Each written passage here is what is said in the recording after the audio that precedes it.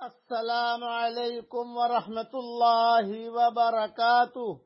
نحمده ونصلي على رسوله الكريم اما بعد۔ آج کا سبق سن لیجیے۔ آج کے سبق کی سرخی ہے، نماز سے دوستی کیجیے۔ پارٹ نمبر ایک سو سات۔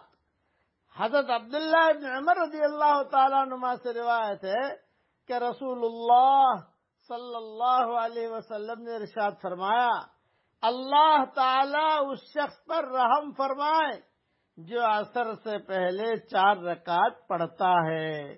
یہ حدیث ابو داود میں ہے۔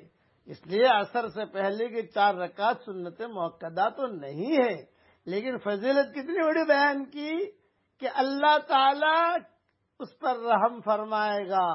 اس لیے اس کا بھی آدمی اہتمام کرے۔ تاکہ فضیلت ہمیں ملے اور جب نماز پڑھتے ہیں تو اللہ کی مدد بھی ہمارے ساتھ شامل حال ہو جاتی ہے۔ حضرت فاطمہ رضی اللہ حضرت ابو فاطمہ رضی اللہ تعالیٰ عنہ فرماتے ہیں کہ مجھ سے رسول اللہ صلی اللہ علیہ وسلم نے رشاد فرمایا، ابو فاطمہ، اگر تم مجھ سے آخرت میں ملنا چاہتے ہو تو سجدے زیادہ کیا کرو یعنی نمازیں کثرت سے پڑھا کرو۔ یہ حدیث مسند احمد میں ہے۔ نمازوں کی فضیلتیں چل رہی ہیں۔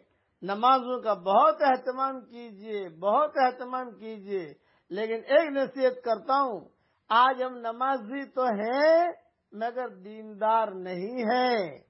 حاجی تو ہیں، مگر نیک نہیں ہیں۔ ہم سارے دین کا کام کرتے ہیں، لیکن دیندار نہیں ہیں۔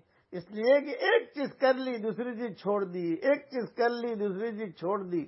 نہیں، دین جمع ما جا بھی رسول اللہ صلی اللہ علیہ وسلم۔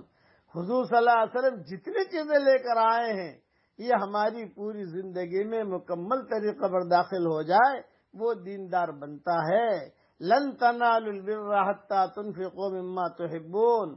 تم نیکی کو نہیں پہنچ سکتے۔ جب تک یہ جو چیز تمہیں پسند ہے اس کو اللہ کے راستے میں نہ خرچ کرو۔ یہ بڑی لمبی تفصیلیں ہیں جو پہلے میں بیان کر چکا ہوں۔ نمازوں کا بھی اہتمام کرنا ہے اور دیندار بننے کی دعائیں بھی کرنی ہے اللہ تعالی ہم سب کو نیک بھی بنائے اور دیندار بھی بنائے اور نمازی بھی بنائے۔ اور قیامت کے ہماری آنے والی نسلوں میں سے بھی اللہ تعالیٰ نماز کو نہ چھینے۔ یہ ہے۔ اگر کسی سے نماز چھین گئی ساری خیریں ختم ہو گئی، اس کے گھر میں سے ختم ہو گئے۔ وہ تباہ ہو گیا۔ جس سے اللہ محبت کرتا ہے، اسے قرآن پڑھنے کی توفیق دیتا ہے اور سجدہ کرنے کی توفیق دیتا ہے۔ بس یہ ذہن میں رکھنا۔ اللہ تعالی ہم سب کو نماز پڑھنے کی اور قرآن پڑھنے کی اللہ ہم سب کو توفیق عطا فرمائے۔ آمین۔ واخر دعوانا الحمد للہ رب العالمین۔